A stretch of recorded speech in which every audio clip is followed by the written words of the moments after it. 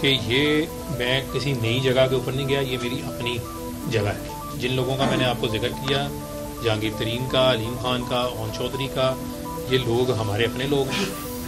हमने इकट्ठे काम किया हुआ है, इनके साथ किया हुआ है। तो लिहाजा कहीं और जाने का तो जो है वो कोई सवाल जो है वो पैदा नहीं होता था, और वहाँ पर मेरा कोई वो कंफर्ट लेवल पे नहीं है।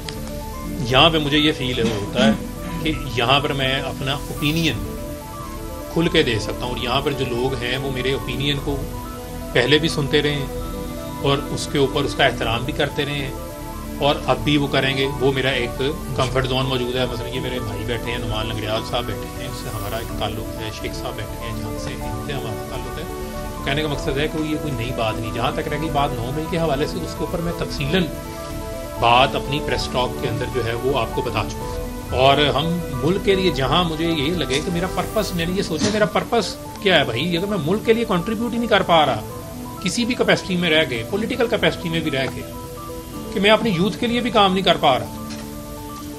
तो फिर कहने का मकसद ये है कि फिर आपके पास मकसद ख़त्म हो जाता है। फिर इसका मतलब है आप अपनी ज़ात के लिए बैठे हो। तो मैं उन सबको पैगाम दे रहा हूँ कि इस चक्कर से बाहर निकलें, कि आपको ये लग रहा है कि आपकी पता नहीं लॉयल्टी इन क्वेश्चन आ जाएगी। या आप इस चक्कर में बैठे हुए हैं कि जी आपको, आपका वोट बैंक है तो आपका वोट बैंक जो है वो ख़राब हो जाएगा। तो पब्लिक ओपिनियन जो है वो चेंज होता है। एक वक्त में पीटीआई टांगा पार्टी थी। आज आप आईपीपी का के जी आईपीपी के पास सिर्फ़ जी लीडर ही हैं जी, उनके पास वर्कर नहीं है तो आज वर्कर भी आ गए।